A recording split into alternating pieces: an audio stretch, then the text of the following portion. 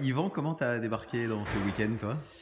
Bah, J'ai commencé à suivre un peu la méthode sur Internet, mais le fait d'être venu ici, ça a vraiment pu euh, approfondir. Et puis, euh, euh, surtout au niveau du stress, la gestion du stress, je ne m'attendais pas à recevoir autant d'informations, donc j'en pars avec beaucoup plus d'outils. Hmm. Le froid est un support de travail, et là, je, je le vois davantage.